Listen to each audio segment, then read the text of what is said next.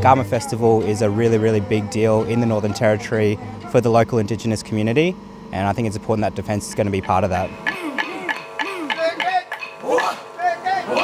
So far, Defence members have been involved with obviously networking uh, the exhibition tent that we have displayed uh, and really just sharing cultural experiences with other people. Uh, it's been a great opportunity to learn the culture here and look at how we can bring some of that back uh, to Defence. I think it's really important for Defence to get involved with activities like the Garma Festival.